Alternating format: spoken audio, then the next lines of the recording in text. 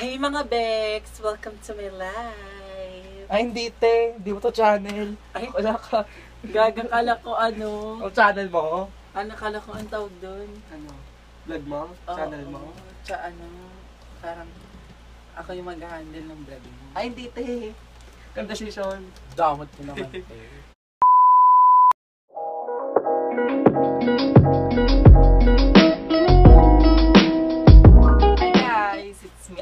Albert Abat. Welcome back to my YouTube channel. And I'm Anthony. Hello, excited. so ngayon Hey guys. guys. So ngayon guys, ang gagawin po namin is mukbang. Ito guys. So ayun, kasi tinabi ngayon yung God! Pinost ko na oh my about sa. I was First question. Hashtag itanong mo. Anong posisyon niyo po sa volleyball? Dog style. Walang ganun dahil. Ano posisyon mo sa ano, volleyball? ano, actually talaga, ano talaga, 4 talaga ako. Bakit, bakit, ba't GGL ka sa open? Kaya ko na makipagtuusan sa open. Wait. Ako guys, ano, all around, power, the, Sa ano, Luis, 4 and open lang talaga. the sa akin, open, tas minsan, libero, MM libero, ganyan. Tas setter, minsan nag-isip ko ng stress, ganyan. Parang yung stress ko naman, parang ano lang, hindi siya totally yung quicker, ganyan, parang differential lang. Next, hashtag itanong mo, masarap ba mag-volleyball? Sing sarap ko. Wey. Yes, masarap mag-volleyball. Lalo, lalo kapag ano, Kapag sobrang sobrang ano, intense nung laban, may tipong mga tarayan. tarayan na. So, ayun. Kaya shoutout kay kay Baka after naman. quarantine, please lang. Kaya, hashtag itanong mo, kanino po kayo na-inspired para maglaro ng volleyball? Sa akin ano, wala naman ano, parang Well, hindi naman ako na-inspired sa ibang tao. Ako parang din. ano lang. ta- wala. yun na parang, Na, parang ano, nakikilaro lang una ganun. Tapos parang yun na nagustuhan ko na maglaro. ako taga guys, una, yung taga sports ko volleyball na talaga, since bata pa lang ako. Anong mas masarap, yung volleyball o yung naglalaro ng volleyball? Sing sarap ko. Pwede both? Pwede yung ano, bowl. Pwede Pero yung iba kasi naglalaro ng volleyball, kadiri, eh, ang dugo. Hashtag itanong mo, bakit mo kailangan magswag sa loob ng court? Nakakadala yun ng team, guys. True. Kapag Sobra. nagswag. Tsaka Kasi ano, ang bagot kasi kapag, kapag ano, sobrang, sob, ang bagot naman kung walang Tarayan. parang swagger dun sa team nyo. Diba? Parang kaya, bagot eh kung ang lahat kayo humble sa loob ng court para kayo naglalaro ng 10-20. Ha, next, Sasha, itanong mo, nakapag-stir down ka na ba sa laban? Yes, nakalabas ako ng stir down, pra. With matching tare Ako pa. po tanongin nyo. The yellow card po ako. Ay, ako din na yellow card ako. Pero sa kanya, ano lang yon intrams lang yon Tapos sa akin, Na nung, yellow card po ako. tapos sa akin naman nung division, kasi kakatare ko. Hashtag itanong mo. Ano mas mahirap? Ikaw lang nagadala ng team? Ikaw lang nagadala sa team nyo? Or wala kayong communication sa loob ng court? Mas mahirap yung wala kayong communication sa loob ng court kasi Wala mas okay na yung ano, mas okay na yung ikaw yung nagdadala ng team, tapos may communication kayo. Kaysa ikaw yung kaysa wala kayong communication sa loob ng. Ako yung ano, mahirap yung laki communication sa loob ng court kasi ano, kaming Kasi we're team ano, team NCR, kayo ganyan, wala kaming communication sa loob ng court. Kaya nagat nagat yung coach namin diyan. So ayun. how to be a good volleyball Player. How to be a great volleyball player. Wala train Training, just be yourself, ganun. and wag ka magpapa-apekto kahit na hindi ka ganun kalakas. Eto, hashtag mo, bakit mga attitude kayo? Sabi ni Mike Kai. Natural lang yun sa ano, sa tao, Sa tao. na may kanya-kanyang attitude. Kasi naman- Depende na lang sa'yo kung paano mo dadalhin yun. Kasi naman, Noy, di ba? Siyempre, pag attitude yung kalaban mo, dapat lumabang ka, hindi yung ano lang. Sabi ni JC Del Martyr, dapat required ba marble bago, bago ang play? Ikaw mo makakasagot yun. Hindi naman. Ayan, may nagtanong pa ulit. Dapat ba mang balita kapag, kapag naka-bounce ball or, or kapag naka-score ka? Ano, ano? Required ba mag required ba mag maldita kapag naka-bounce ball or kapag naka-score? Sa akin, ano, Depende hindi naman sa siya required. Sa kan depend depende sa'yo yun kung magmamalita ka or hindi. Kasi kapag inunahan ka ng ta kapag inunahan ka ng magtaray ng kalaban, syempre ikaw din, diba, diba dapat babaw, babawi ka din ganyan. Pero minsan ako, mas nauna ako magtaray sa kanila kasi sila nagkataray sa akin. Sa akin, ano, depende lang. Kasi sa akin, hindi naman ako bumabounce ball. Palazaw naman lang ako ng palo. Tapos kahit hindi ganun kalakas, at least basta nakakapuntos.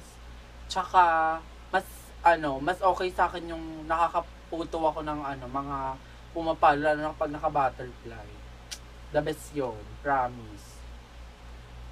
May nag may nag-comment, ayun na po ba yung pinakamalakas na palo nyo? May lalakas pa ba yan? Hmm? Ayun na ba yung pinakamalakas na palo nyo? Lalakas- hindi. Depende naman yun sa naglalaro. Kung, kung yun na ba yun? yun or na ba yung laro niya or hindi. Tsaka nata-training naman yan. Nag, lahat naman tayo nagsimula rin sa ano, mahina wala. tayo. Sa wala rin tayo. Tsaka kaya also hindi magyabang. Porikit kung saan ka na nakarating. Kung sino ka man. May nag-comment ulit, bakit parang chance ball lang yung palo mo? Ba parang chance ball ng palo mo, sis? Parang chance ball lang. Okay na yung parang chance ball lang yung palo. Tapos nakakapuntos at hindi nagyayabang. Hindi porkit marami kang narating is magyayabang ka na porkit nakarating ka man ng NCAA ko, o kahit sang lupalop ka man nakarating kung sino ka man hindi ako na hindi ako natuto magyabang kahit na ganun lang yung laro ko. At saka mas okay na yung nakakapuntos kaysa yung taray ka ng taray. Minsan kala mo naman nakarating ka nga ng NCAA yung palo mo naka, nabablakan pa rin napuputo pa rin. Tsaka mo na ako yabangan ng ganyan kapag yung mga palo mo sinlakas na ng palo ni Espejo yung wala nakakuha. Ni Bagunas ganon. Tsaka mo na ako yabangan magbe-bless ako sa iyo Diba? pero kapag yung mga Galit na galit ka, girl. Kahit mga bagets, please lang, stop that, stop acting like you know my pain. Eto, next. Sino madalas makatarayan mo sa laro? Yung mga nakalaro namin sa Lapas. Yan, yung kasi ano, yan, sila Danny. Yan, si Joshua, si Shem, ayan, si si Vincent, sila Linford, ayan, sila Naikay din, sila, sa akin lang, sila ha. Jandy. sa akin kadal, madalas ko katarayan si Danny. Si Danny Montano, ang number one na, ano, sisi ko. Ayan. Hi Danny, I miss you. Bad Siya ang you. number one kong katarayan lagi. Tapos, Malalakas kasi man trip yung hype na yun. True. Next, sabi ng coach natin, ano nangyari sa inyo ng last intrams? Wala na, inis lang ako sa referee talaga, promise. Shout out, no. Ano siya ano siya na lang. Kasi- Basta naidigo lang. Na ano talaga ako dun. Alam mo kung ba't ako na bad trip na Doon pa lang sa unang ano championship game, yung first set pa lang. Nababad trip na talaga ako na kasi ano, kahit tawag ng tawag kahit mali. Syempre dapat i-consider na lang yung ano, syempre sobrang baba lang yung ano lang, first floor lang yung banderitas. May banderitas kasi sa intrams namin, guys. Tapos sobrang baba lang ng banderitas nasa first floor lang. Tapos kapag so Tumama kapag tumama doon yung bola, pag taas Outside mo, na. outside na agad. Eh syempre, ikaw ba kung tanga-tanga ka ba magbibigay ka ng mag-over ka ng low ball lang, dapat higher, 'di ba? Mas ma, mas mahirap depensahan kapag higher ball yung ibinigay mo ng chance ball. Tapos tawag ng tawag kapag nagtataray ako, pero yung yung kabilang team hindi hindi siya True. nag nagbibigay ng, Ng ano ng yellow card. Tapos ito pa, kasi ako mag-service eh, at pinituan niya ako, pa captain ball lapit, kasi captain ball ako naman. Sabi sa akin, oh, yellow card kayo. Sabi ko, bakit ko, bakit po? Kasi yung ano daw, taray daw ng ta, yun nga, taray nga daw siya ng ta. Sabi ko, sagot ako, oh, sige, re- re- yellow card kayo, pero sa kanila yung ball. Sabi ko, ha, wait lang. Bakit parang kasalanan tapos ko?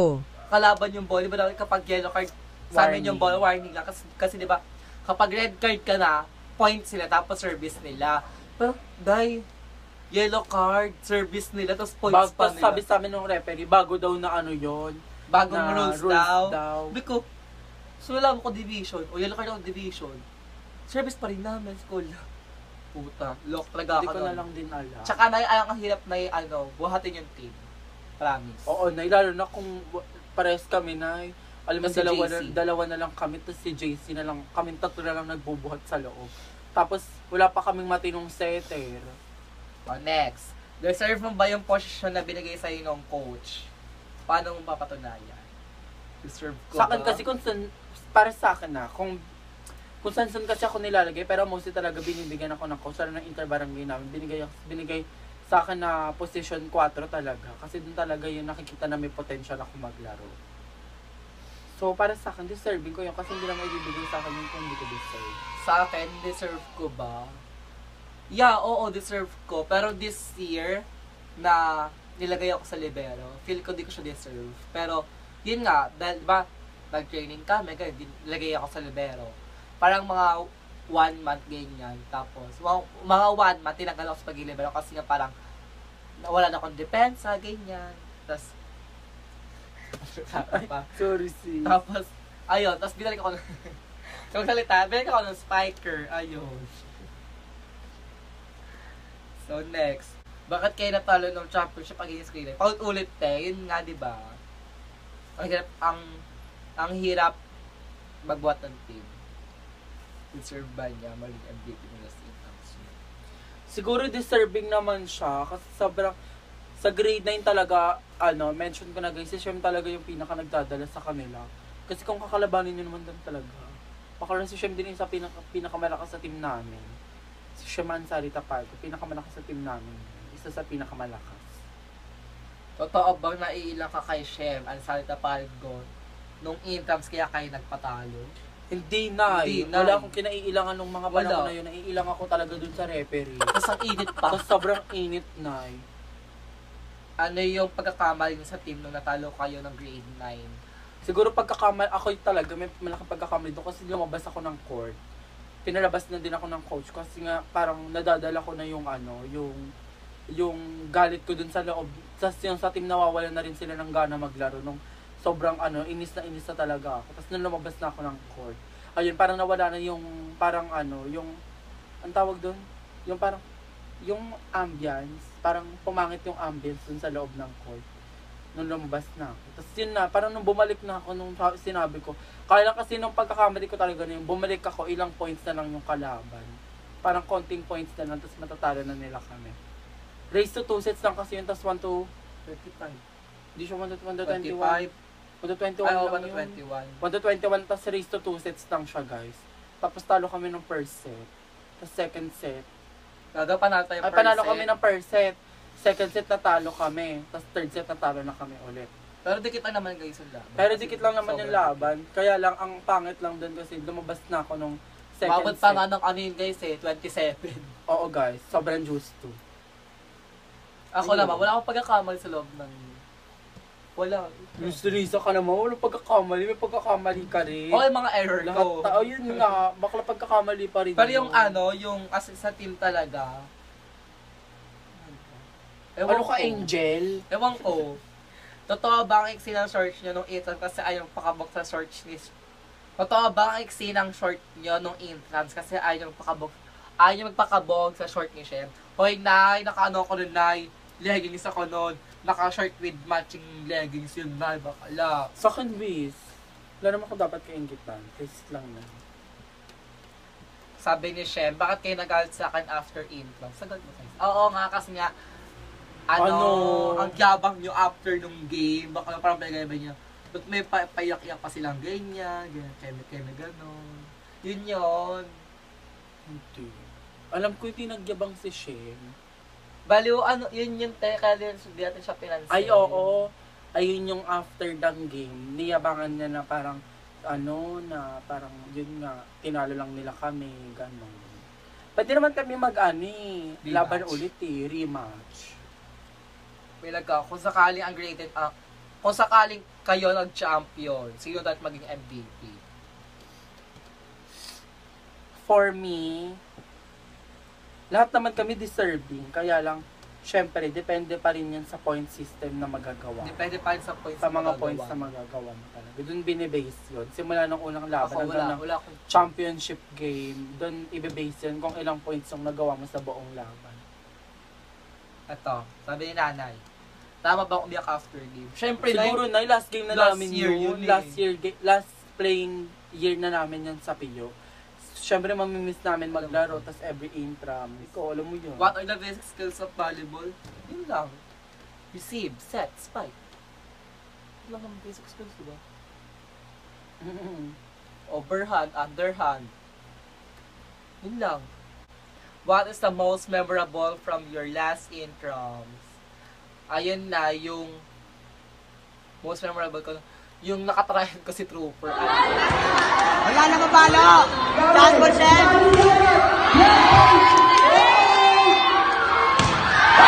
Kasi, wala lang, kasi ang aliw kasi ni Trooper Promise. Tapos, tapos di ko pa makalimutan yung na-butterfly ako. Dahil, butterfly ako ng intram. Secondary kalaban namin, butterfly ako. True. Sino naka-butterfly sa'yo? Si GJ. Si GJ. Nagalit, si, nagalit yung coach namin dito kay, sa naka-butterfly kasi parang na lang daw, bina-butterfly ko. May nag-comment. Totoo bang attitude kayo pa shoutout sa channel namin? Ano ba channel yung Channel 11? National Geographic Channel? Iba yung channel niyo?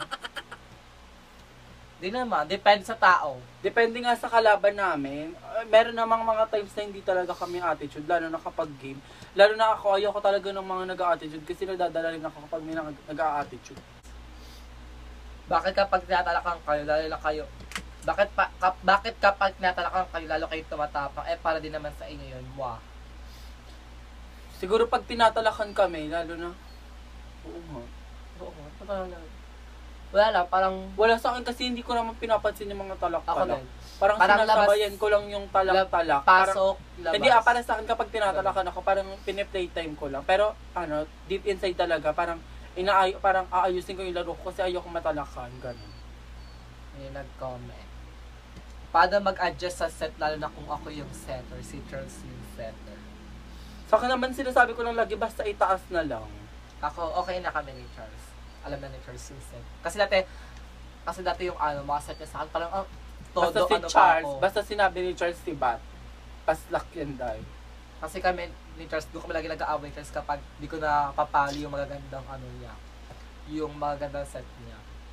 May nag tanong ulit. As a setter, bawal po ba gawa ng paraan kapag mababa yung set? Nagagawa ng paraan, syempre, te.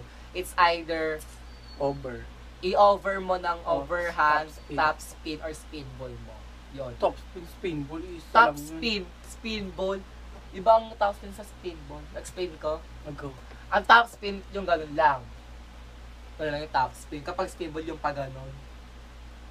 Yun yung alam ko ah. Comment down below kung tama ako.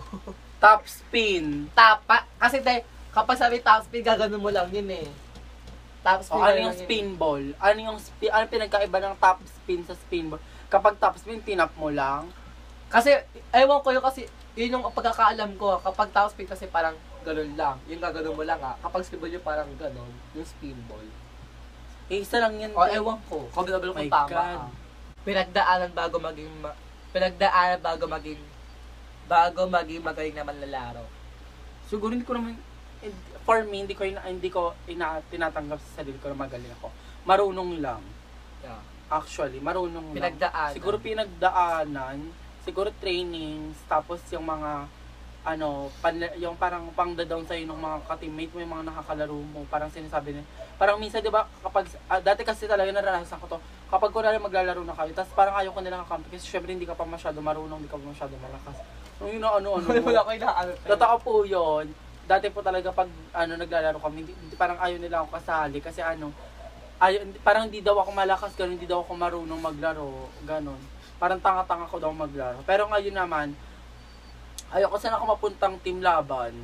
Ano yun? Wala ko sinasabi. Saan ako mapuntang team laban. Kasi, Anan ko, syempre yung mga hard trainings, ganyan. Takbo ka sa oval.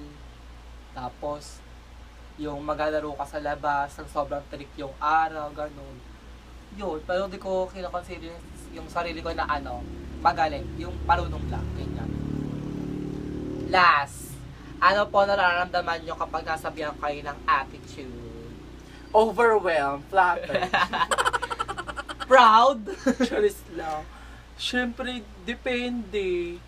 Depende kasi yun eh. Kapag basta yun yung sinasabi ko sa inyo, hindi naman lahat ng players attitude, naka-base pa rin yun dun sa kalaban nila. May mga pagkakataon lang talaga na, na kami talaga sa amin na pinapauna namin mag-attitude yung kalaban bago kami Yeah. mag-attitude. Yung naga pinag-usapan namin sa lahat, kahit laban, kahit liga man yan, or laro lang, sis, unahan, unahan sila magyabang bago tayo magyabang, ganyan, ganyan. Siyempre para Para mas maganda yung bawi nyo, di ba? Ganyan.